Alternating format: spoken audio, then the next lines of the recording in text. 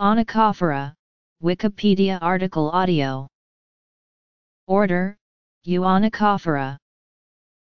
Anatomy. Appendages. Slime glands. Skin and muscle. Circulation. Respiration. Digestion. Sensation. Reproduction. Distribution and habitat. Slime. Behavior. Locomotion. Sociality. Feeding. Reproduction and life cycle. Ecology. Conservation. Phylogeny. Evolution. Order, Euonychophora. Onychophora, commonly known as velvet worms or more ambiguously as Peripatus, is a phylum of elongate, soft-bodied, many-legged panarthropods. In appearance they have variously been compared to worms with legs, caterpillars, and slugs. They prey upon smaller animals such as insects, which they catch by squirting an adhesive slime. Approximately 200 species have been described, although the true number of species is likely greater. The two extant families of velvet worms are Peripatidae and Peripatopsidae.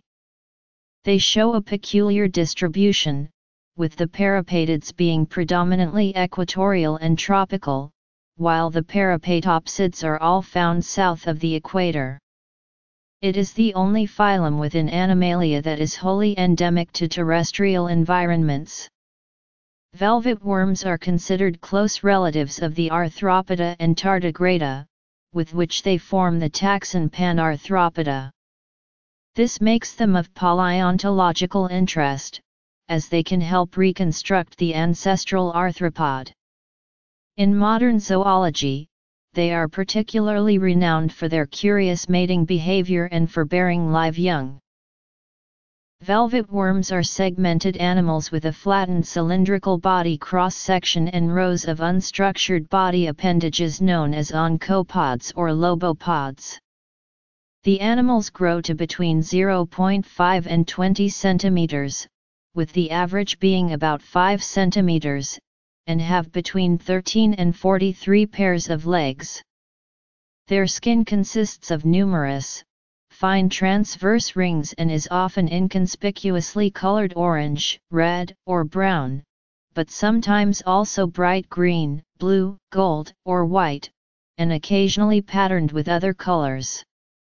Segmentation is outwardly inconspicuous, and identifiable by the regular spacing of the pairs of legs and in the regular arrangement of skin pores, excretion organs and concentrations of nerve cells. The individual body sections are largely unspecialist, even the head develops only a little differently from the abdominal segments. Segmentation is apparently specified by the same gene as in other groups of animals, and is activated in each case, during embryonic development, at the rear border of each segment and in the growth zone of the stub feet. Although onychophorans fall within the protostome group, their early development has a deuterostome trajectory, this trajectory is concealed by the rather sophisticated processes which occur in early development. The stub feet that characterize the velvet worms are conical, baggy appendages of the body, which are internally hollow and have no joints. Although the number of feet can vary considerably between species, their structure is basically very similar.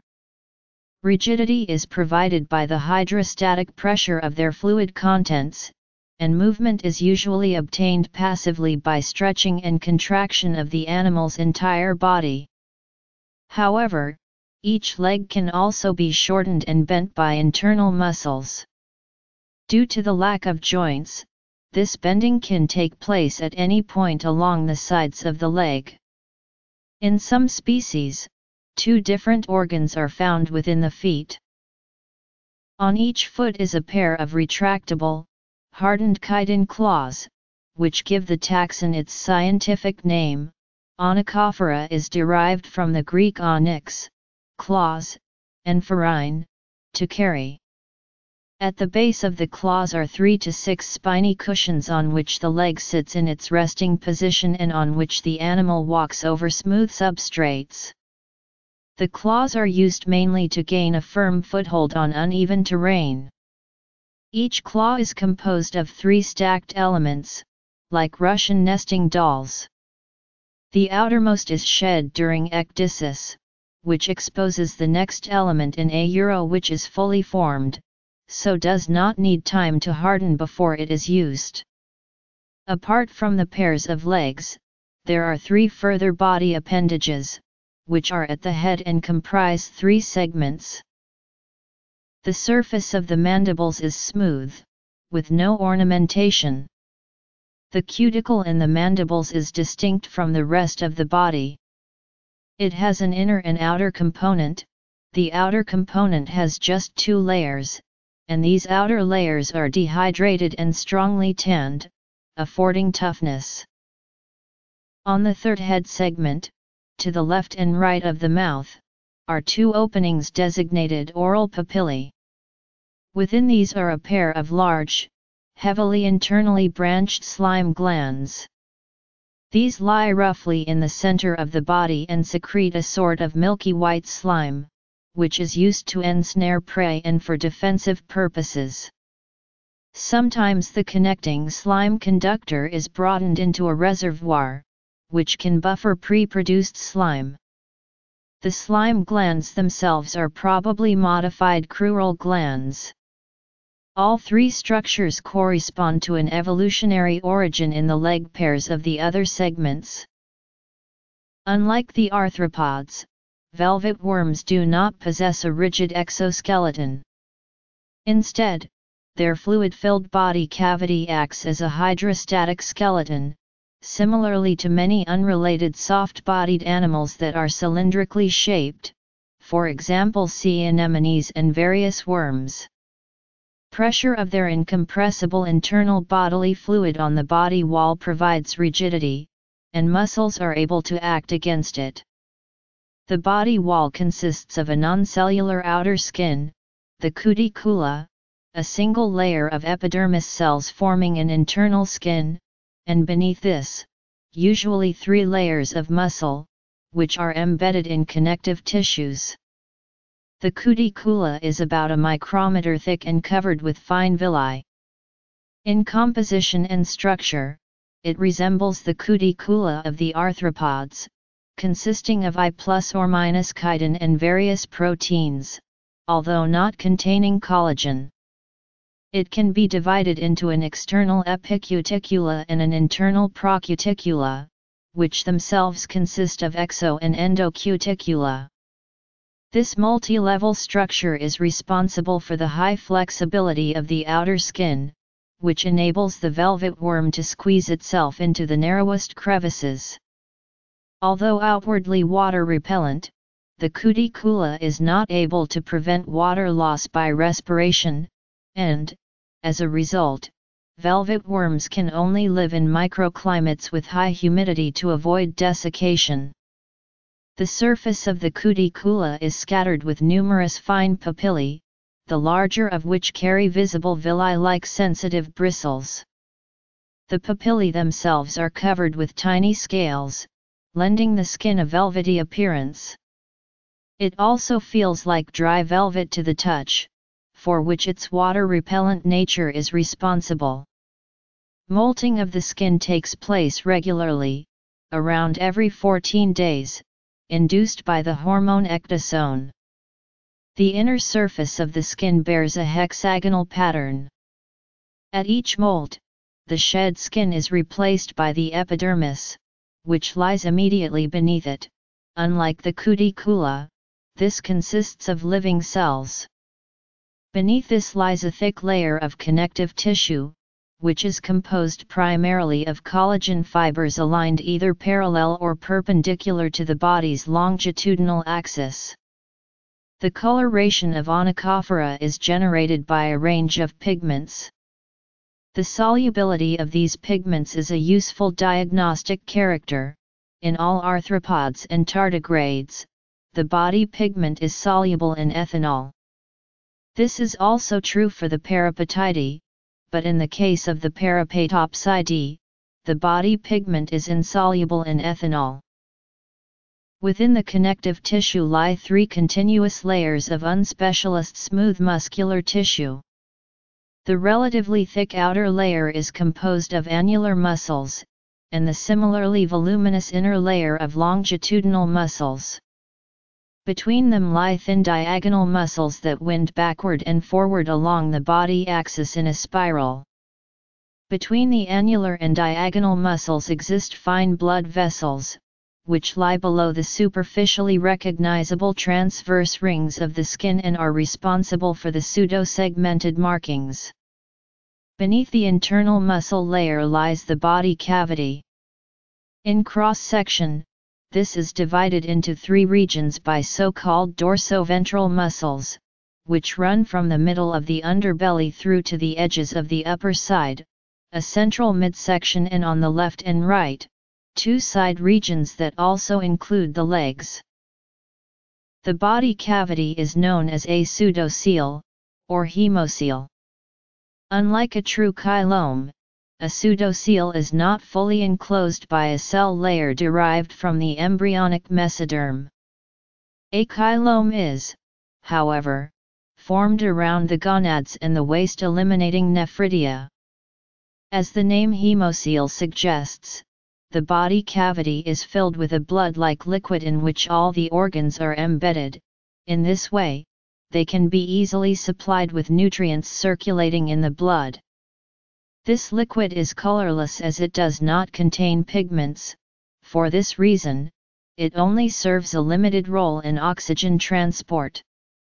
Two different types of blood cells circulate in the fluid, amoebocytes and nephrocytes. The amoebocytes probably function in protection from bacteria and other foreign bodies, in some species, they also play a role in reproduction. Nephrocytes absorb toxins or convert them into a form suitable for elimination by the nephridia. The hemocoel is divided by a horizontal partition, the diaphragm, into two parts, the pericardial sinus along the back and the perivisceral sinus along the belly. The former encloses the tube-like heart, and the latter, the other organs. The diaphragm is perforated in many places, enabling the exchange of fluids between the two cavities. The heart itself is a tube of annular muscles consisting of epithelial tissues, with two lateral openings per segment. While it is not known whether the rear end is open or closed, from the front, it opens directly into the body cavity. Since there are no blood vessels, Apart from the fine vessels running between the muscle layers of the body wall and a pair of arteries that supply the antennae, this is referred to as an open circulation. The timing of the pumping procedure can be divided into two parts, diastole and systole. During diastole, blood flows through the ostia from the pericardial sinus into the heart. When the systole begins, the ostia close and the heart muscles contract inwards, reducing the volume of the heart. This pumps the blood from the front end of the heart into the perivisceral sinus containing the organs.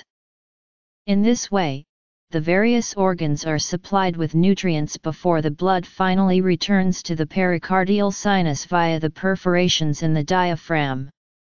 In addition to the pumping action of the heart, body movements also have an influence on circulation. Oxygen uptake occurs to an extent via simple diffusion through the entire body surface, with the coxal vesicles on the legs possibly being involved in some species. However, of most importance is gas exchange via fine unbranched tubes, the tracheae, which draw oxygen from the surface deep into the various organs, particularly the heart.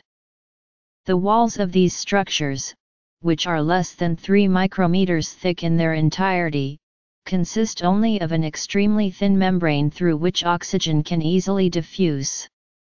The tracheae originate at tiny openings, the spiracles, which themselves are clustered together in dent-like recesses of the outer skin, the atria. The number of tracheae bundles thus formed is on average around 75 per body segment, they accumulate most densely on the back of the organism. Unlike the arthropods, the velvet worms are unable to control the openings of their tracheae, the tracheae are always open, entailing considerable water loss in arid conditions. Water is lost twice as fast as in earthworms and 40 times faster than in caterpillars. For this reason, velvet worms are dependent upon habitats with high air humidity. The digestive tract begins slightly behind the head, the mouth lying on the underside a little way from the frontmost point of the body. Here, prey can be mechanically dismembered by the mandibles with their covering of fine toothlets. Two salivary glands discharge via a common conductor into the subsequent throat, which makes up the first part of the front intestine. The saliva that they produce contains mucus and hydrolytic enzymes, which initiate in and outside the mouth digestion. Historically, the salivary glands probably evolved from the waste elimination organs known as nephridia, which are found homologously in the other body segments. The throat itself is very muscular, serving to absorb the partially liquefied food and to pump it, via the esophagus, which forms the rear part of the front intestine, into the central intestine. Unlike the front intestine, this is not lined with a cuticula but instead consists only of a single layer of epithelial tissue, which does not exhibit conspicuous indentation as is found in other animals. On entering the central intestine, food particles are coated with a mucus-based peritrophic membrane, which serves to protect the lining of the intestine from damage by sharp-edged particles. The intestinal epithelium secretes further digestive enzymes and absorbs the released nutrients, although the majority of digestion has already taken place externally or in the mouth. Indigestible remnants arrive in the rear intestine, or rectum, which is once again lined with a cuticula and which opens at the anus, located on the underside near to the rear end. In almost every segment is a pair of excretory organs called nephridia, which are derived from coelom tissue. Each consists of a small pouch that is connected, via a flagellated conductor called a nephridioduct, to an opening at the base of the nearest leg known as a nephridiopore. The pouch is occupied by special cells called podocytes, which facilitate ultrafiltration of the blood through the partition between hemocellum and nephridium. The composition of the urinary solution is modified in the nephridioduct by selective recovery of nutrients and water and by isolation of poison and waste materials, before it is excreted to the outside world via the nephridiopore. The most important nitrogenous excretion product is the water-insoluble uric acid, this can be excreted in solid state, with very little water. This so-called uricotelic excretory mode represents an adjustment to life on land and the associated necessity of dealing economically with water. A pair of former nephridia in the head were converted secondarily into the salivary glands, while another pair in the final segment of male specimens now serve as glands that apparently play a role in reproduction. The entire body, including the stub feet, is littered with numerous papillae, warty protrusions that carry a mechanoreceptive bristle at the tip, each of which is also connected to further sensory nerve cells lying beneath. The mouth papillae, the exits of the slime glands, probably also have a function in sensory perception. Sensory cells known as sensils on the lips or labrum respond to chemical stimuli and are known as chemoreceptors. These are also found on the two antennae, which can be regarded as the velvet worm's most important sensory organs. Except in a few species, one simply constructed eye lies laterally, just underneath the head, behind each antenna.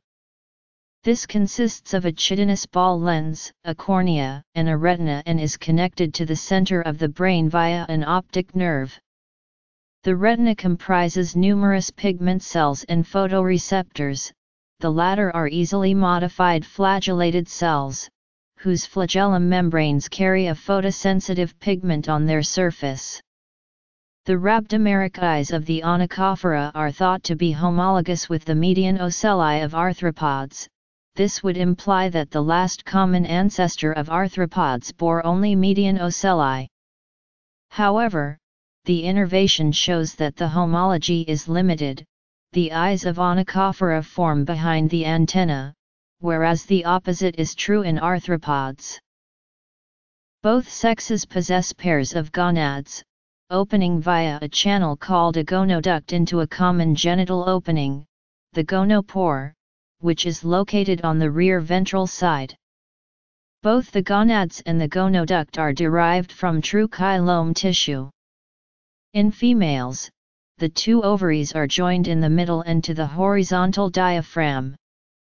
The gonoduct appears differently depending on whether the species is live-bearing or egg-laying. In the former, each exit channel divides into a slender oviduct and a roomy womb, the uterus, in which the embryos develop. The single vagina, to which both uteri are connected, runs outward to the gonopore. In egg-laying species, whose gonoduct is uniformly constructed, the genital opening lies at the tip of a long egg-laying apparatus, the ovipositor.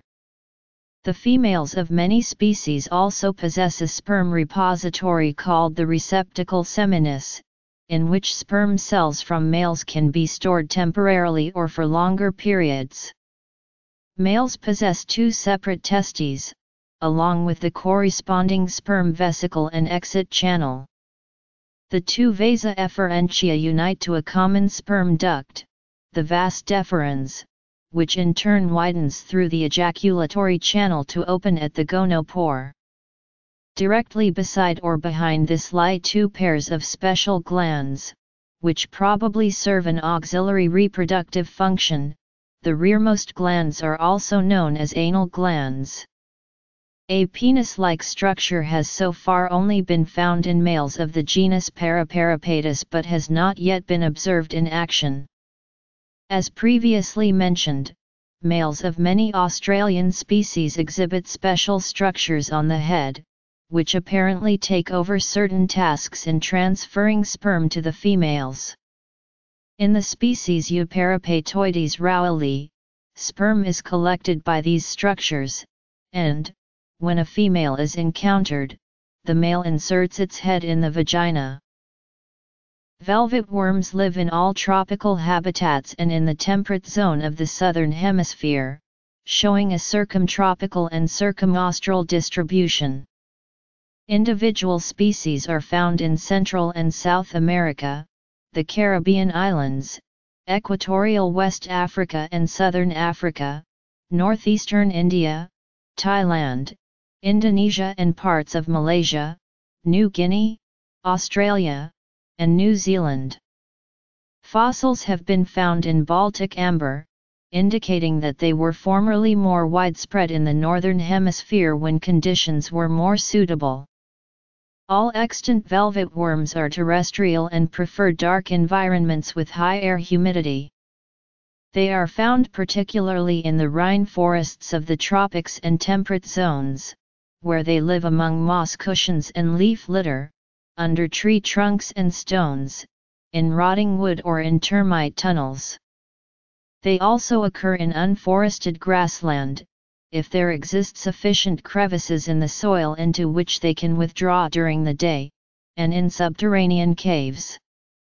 Two species live in caves, a habitat to which their ability to squeeze themselves into the smallest cracks makes them exceptionally well adapted and in which constant living conditions are guaranteed. Since the essential requirements for cave life were probably already present prior to the settlement of these habitats, this may be described as exaptation. Agriculture has apparently made available new habitats for velvet worms, in any case, they are found in man-made cocoa and banana plantations in South America and the Caribbean. Because the danger of desiccation is greatest during the day and in dry weather, it is not surprising that velvet worms are usually most active at night and during rainy weather. Under cold or dry conditions, they actively seek out crevices in which they shift their body into a resting state. Velvet worms are negatively phototactical, they are repelled by bright light sources. The onychophora forcefully squirt glue-like slime from their oral papillae, they do so either in defense against predators or to capture prey. The openings of the glands that produce the slime are in the papillae, a pair of highly modified limbs on the sides of the head below the antennae. Inside, they have a syringe-like system that, by a geometric amplifier, allows for fast squirt using slow muscular contraction.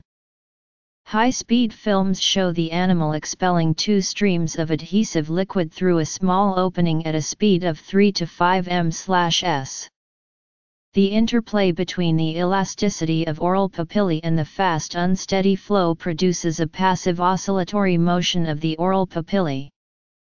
The oscillation causes the streams to cross in mid-air, weaving a disordered net.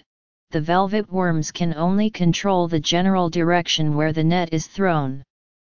The slime glands themselves are deep inside the body cavity, each at the end of a tube more than half the length of the body.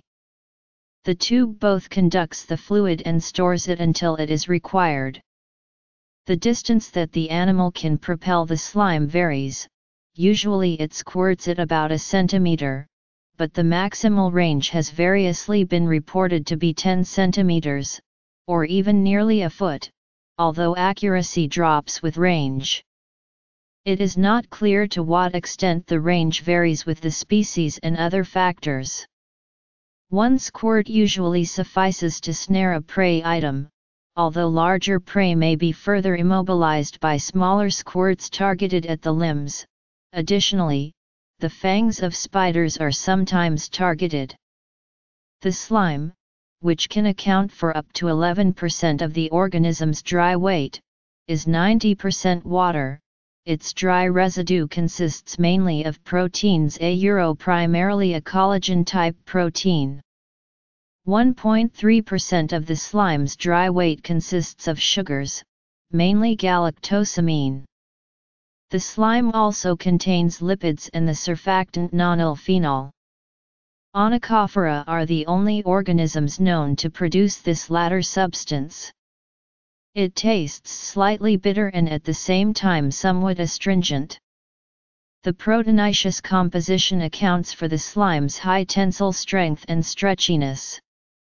Upon ejection, it forms a net of threads about 20 microns in diameter, with evenly spaced droplets of viscous adhesive fluid along their length. It subsequently dries, shrinking, losing its stickiness, and becoming brittle.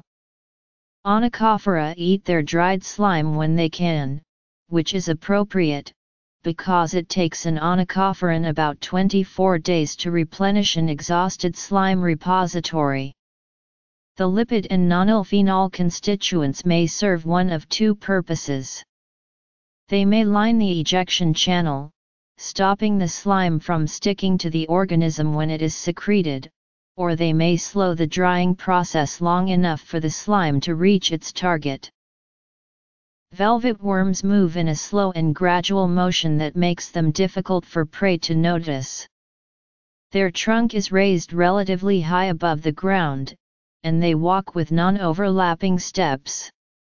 To move from place to place, the velvet worm crawls forward using its legs, unlike in arthropods, both legs of a pair are moved simultaneously. The claws of the feet are only used on hard, rough terrain where a firm grip is needed, on soft substrates, such as moss, the velvet worm walks on the foot cushions at the base of the claws. The actual locomotion is achieved less by the exertion of the leg muscles than by local changes of body length. This can be controlled using the annular and longitudinal muscles. If the annular muscles are contracted, the body cross-section is reduced, and the corresponding segment lengthens. This is the usual mode of operation of the hydrostatic skeleton as also employed by other worms. Due to the stretching, the legs of the segment concerned are lifted and swung forward. Local contraction of the longitudinal muscles then shortens the appropriate segment, and the legs, which are now in contact with the ground, are moved to the rear. This part of the locomotive cycle is the actual leg stroke that is responsible for forward movement.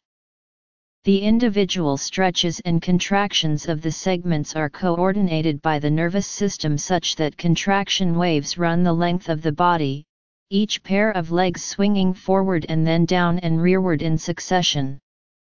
Macroperipatus can reach speeds of up to 4 cm per second, although speeds of around 6 body lengths per minute are more typical.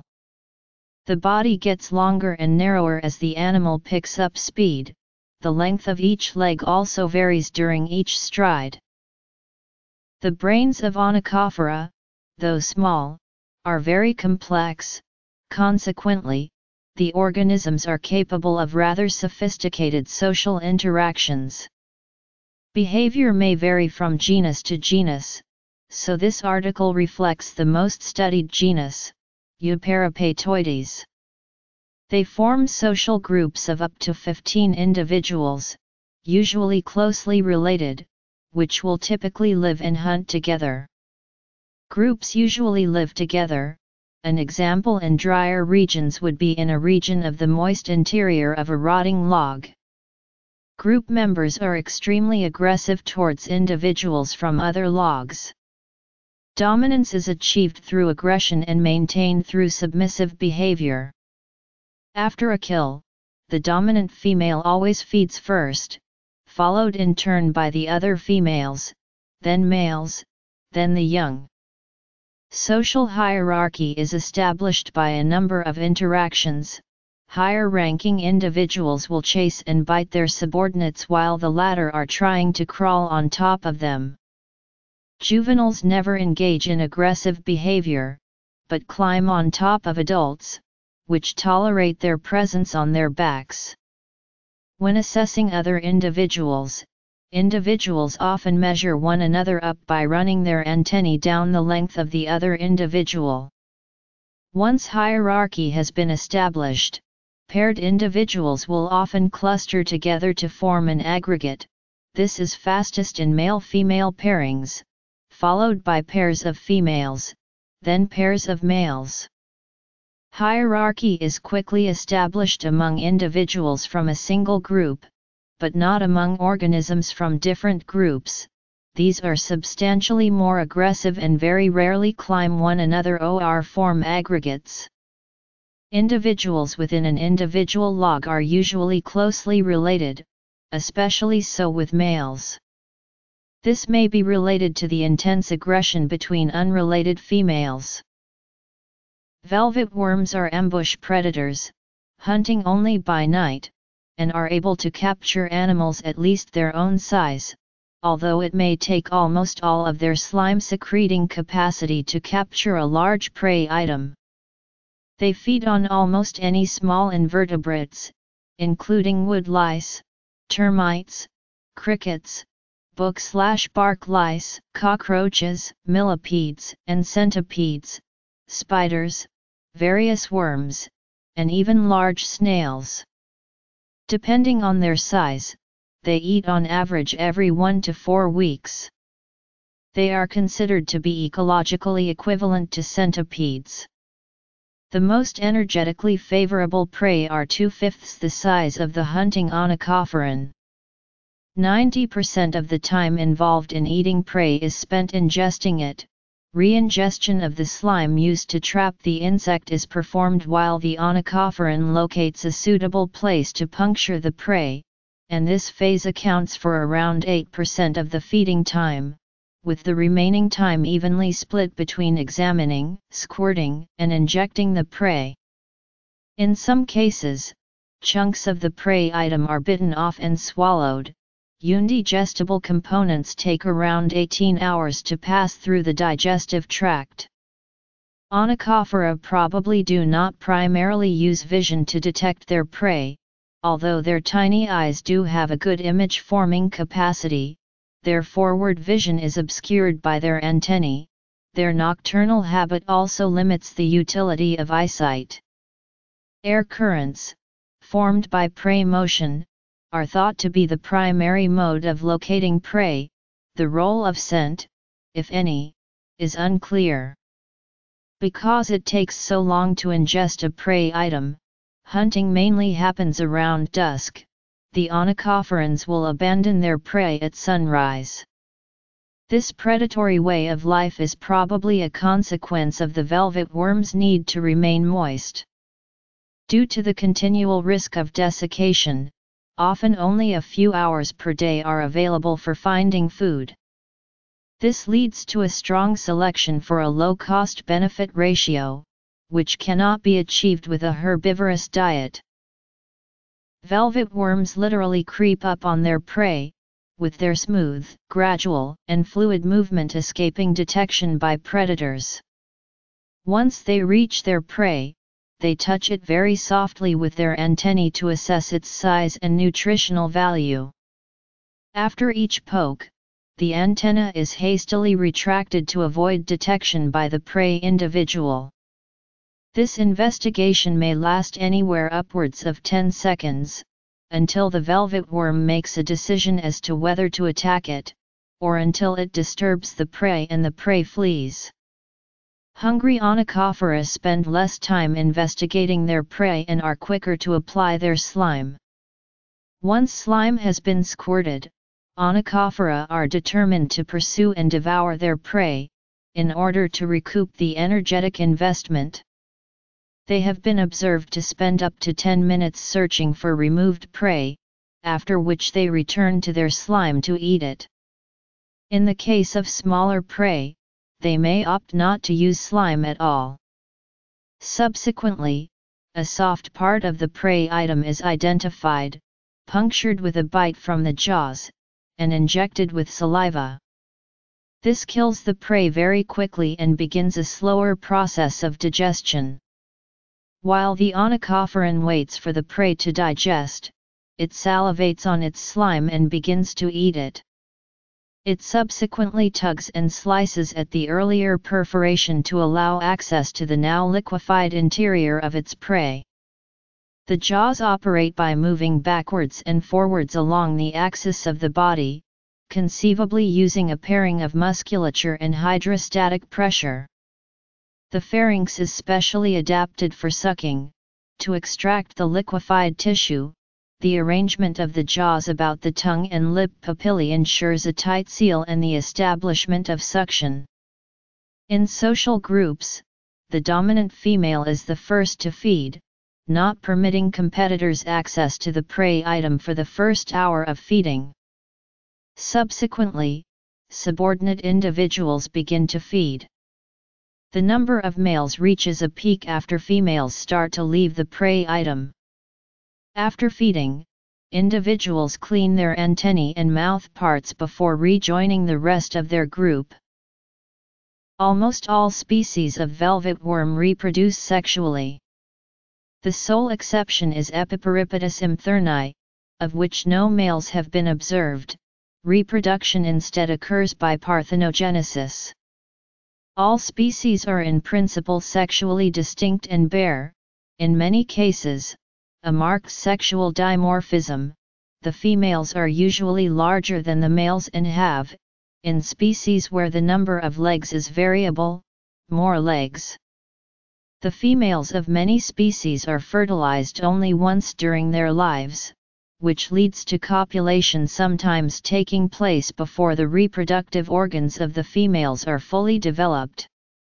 In such cases, for example at the age of 3 months in Macroperipatus torquatus, the transferred sperm cells are kept in a special reservoir, where they can remain viable for longer periods.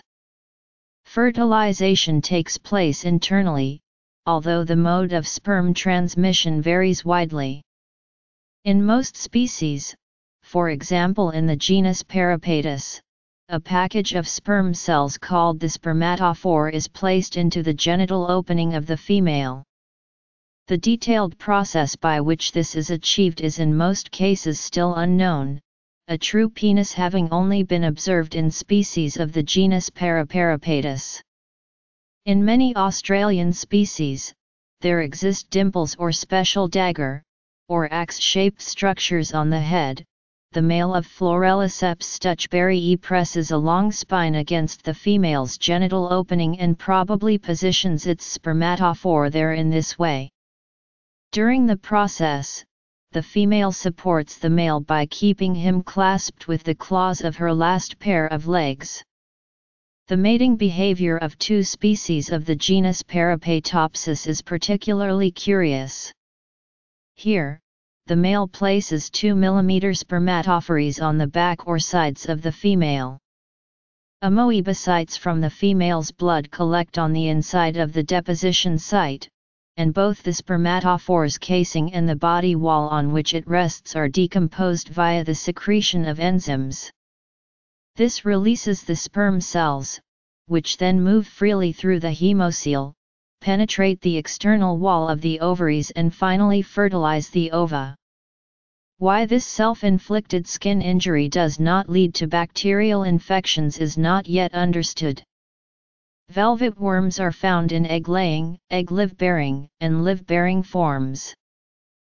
A female can have between 1 and 23 offspring per year, development from fertilized ovum to adult takes between 6 and 17 months and does not have a larval stage. This is probably also the original mode of development. Velvet worms have been known to live for up to 6 years. The velvet worm's important predators are primarily various spiders and centipedes, along with rodents and birds, such as, in Central America, the clay-colored thrush. In South America, Hemprich's coral snake feeds almost exclusively on velvet worms. For defense, some species roll themselves reflexively into a spiral, while they can also fight off smaller opponents by ejecting slime. Various mites are known to be ectoparasites infesting the skin of the velvet worm. Skin injuries are usually accompanied by bacterial infections, which are almost always fatal. The global conservation status of velvet worm species is difficult to estimate, many species are only known to exist at their type locality. The collection of reliable data is also hindered by low population densities, their typically nocturnal behavior and possibly also as yet undocumented seasonal influences and sexual dimorphism. To date, the only onychophorans evaluated by the IUCN are Mesoperipatus tholloni, Plicatoperipatus jamaicensis, Peripatoides indigo, Peripatoides suteri, Peripatopsis alba, Peripatopsis clavigera, Macroperipatus insularis, Tasmanipatus anophthalmus, Opisthopatus roseus, Peripatopsis leonina, and Speleoperipatus speleus. The primary threat comes from destruction and fragmentation of velvet worm habitat due to industrialization, draining of wetlands, and slash and burn agriculture. Many species also have naturally low population densities and closely restricted geographic ranges, as a result, relatively small localized disturbances of important ecosystems can lead to the extinction of entire populations or species. Collection of specimens for universities or research institutes also plays a role on a local scale. There is a very pronounced difference in the protection afforded to velvet worms between regions. In some countries, such as South Africa, there are restrictions on both collecting and exporting, while in others, such as Australia, only export restrictions exist. Many countries offer no specific safeguards at all. Tasmania has a protection program that is unique worldwide. One region of forest has its own velvet worm conservation plan, which is tailored to a particular velvet worm species. In their present forms, the velvet worms are probably very closely related to the arthropods, a very extensive taxon that incorporates, for instance, the crustaceans, insects, and arachnids. They share, among other things, an exoskeleton consisting of I plus or minus chitin and non-collagenous proteins, gonads and waste elimination organs enclosed in true coelom tissue, an open blood system with a tubular heart situated at the rear, an abdominal cavity divided into pericardial and perivisceral cavities, respiration via tracheae, and similar embryonic development. Segmentation, with two body appendages per segment, is also shared. However, antennae, mandibles, and oral papillae are probably not homologous to the corresponding features in arthropods, i.e., they probably developed independently. Another closely related group are the comparatively obscure water bears, however, due to their very small size, these lack some characteristics of the velvet worms and arthropods, such as blood circulation and separate respiratory structures. Together, the velvet worms, arthropods, and water bears form a monophyletic taxon, the Panarthropoda, i.e., the three groups collectively cover all descendants of their last common ancestor. Due to certain similarities of form, the velvet worms were usually grouped with the water bears to form the taxon Protoarthropoda. This designation would imply that both velvet worms and water bears are not yet as highly developed as the arthropods. Modern systematic theories reject such conceptions of primitive and highly developed organisms and instead consider exclusively the historical relationships among the taxa. These relationships are not as yet fully understood, but it is considered probable that the velvet worm's sister groups form a taxon designated Tactopoda, thus Velvet worms Water bears Arthropods Crural glands are situated at the shoulder of the legs, extending into the body cavity. They open outwards at the crural papilla euro small wart-like bumps on the belly side of the lega euro and secrete chemical messenger materials called pheromones. Their name comes from the Latin cruralis meaning of the legs. Dot. Coxal vesicles are pouches located on the belly side of the leg, which can be averted and probably serve in water absorption. They are only found within the family Peripatidae and are named from coxa, the Latin word for hip. On the first head segment is a pair of slender antennae, which serve in sensory perception. They probably do not correspond directly to the antennae of the arthropoda, but perhaps rather with their lips or labrum.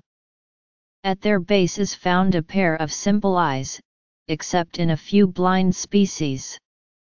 In front of these, in many Australian species, are various dimples, the function of which is not yet clear. It appears that in at least some species, these serve in the transfer of sperm cell packages. On the belly side of the second head segment is the labrum, a mouth opening surrounded by sensitive lips. In the velvet worms, this structure is a muscular outgrowth of the throat, so, despite its name, it is probably not homologous to the labrum of the arthropoda and is used for feeding. Deep within the oral cavity lie the sharp, crescent-shaped jaws, or mandibles, which are strongly hardened and resemble the claws of the feet, with which they are serially homologous. Early in development, the jaw appendages have a similar position and shape to the subsequent legs. The jaws are divided into internal and external mandibles and their concave surface bears fine denticles. They move backward and forward in a longitudinal direction, tearing apart the prey, apparently moved in one direction by musculature and the other by hydrostatic pressure. The claws are made of scleroticity plus or minus chitin, reinforced with phenols and chinons, and have a uniform composition a euro except that there is a higher concentration of calcium towards the tip, presumably affording greater strength. Ovipary occurs solely in the Peripatopsidae, often in regions with erratic food supply or unsettled climate. In these cases, the yolk-rich eggs measure 1.3 to 2.0 mm and are coated in a protective chitinous shell. Maternal care is unknown, the majority of species are ovoviviparous, the medium-sized eggs, encased only by a double membrane, remain in the uterus. The embryos do not receive food directly from the mother, but are supplied instead by the moderate quantity of yolk contained in the eggs a euro they are therefore described as lecithotrophic. The young emerge from the eggs only a short time before birth. This probably represents the velvet worm's original mode of reproduction, i.e., both oviparous and viviparous species developed from ovoviviparous species. True live-bearing species are found in both families, particularly in tropical regions with a stable climate and regular food supply throughout the year. The embryos develop from eggs only micrometers in size and are nourished in the uterus by their mother, hence the description matrotrophic.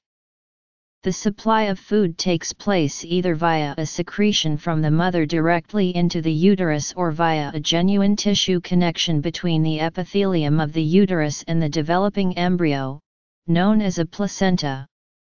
The former is found only outside the American continents, while the latter occurs primarily in America and the Caribbean and more rarely in the Old World.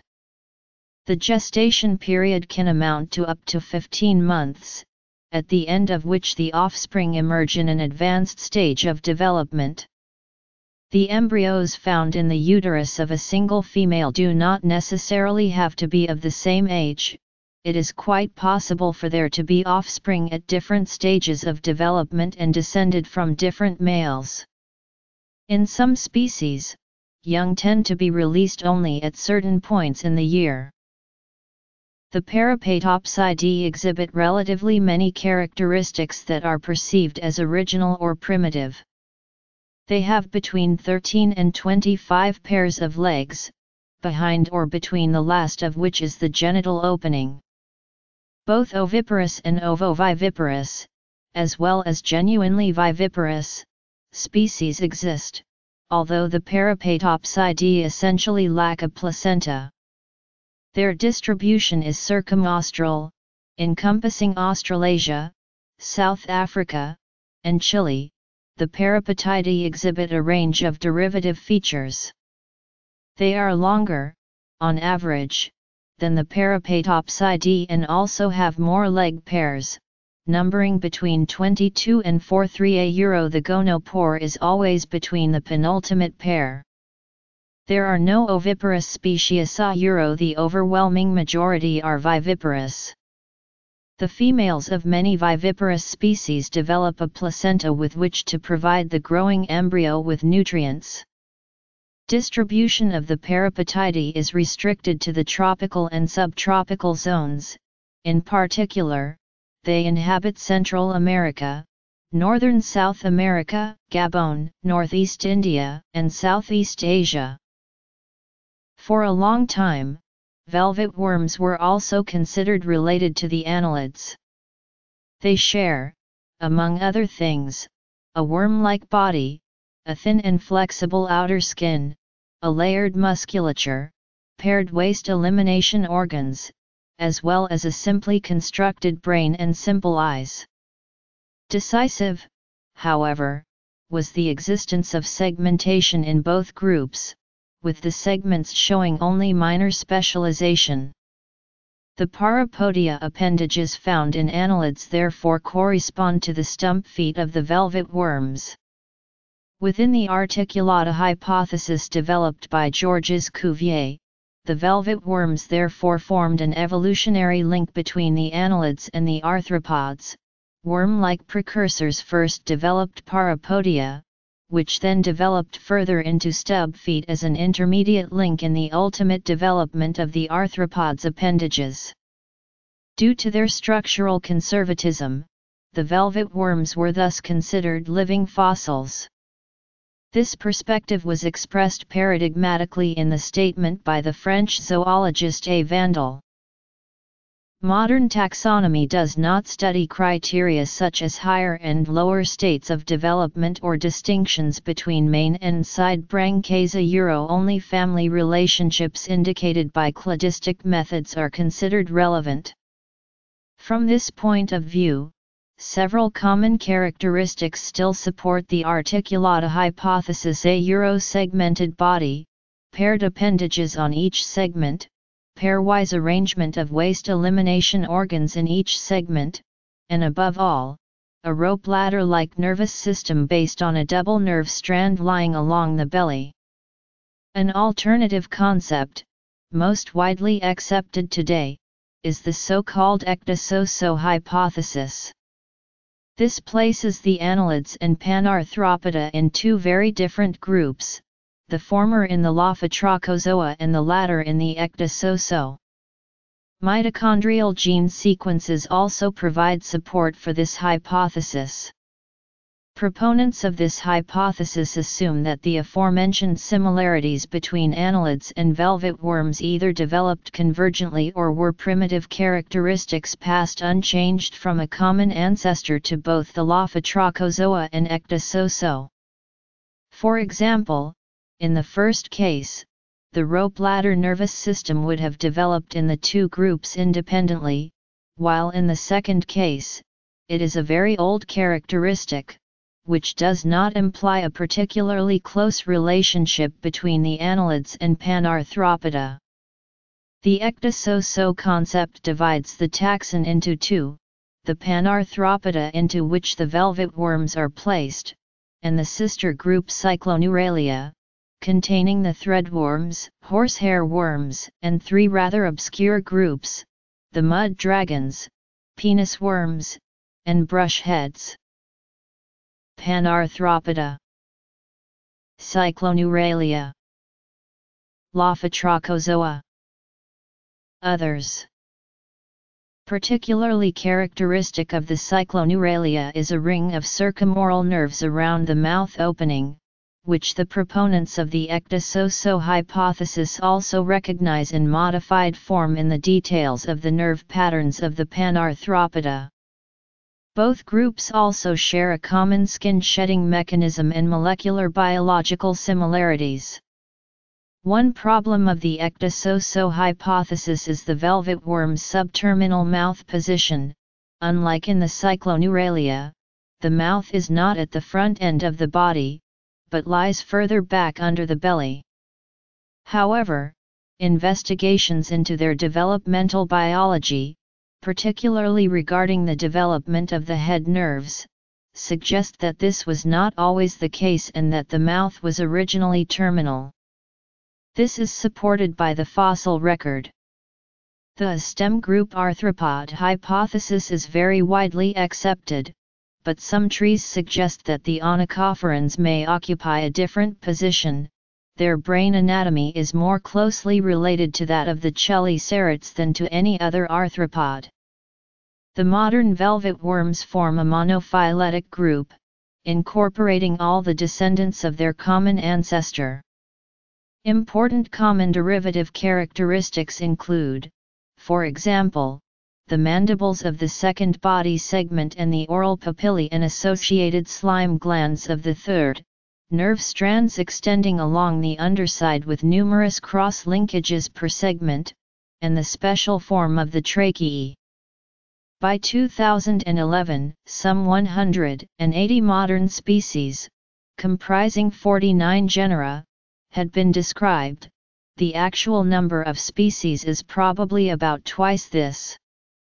According to more recent study, 82 species of Peripatidae and 115 species of Peripatopsidae have been described thus far.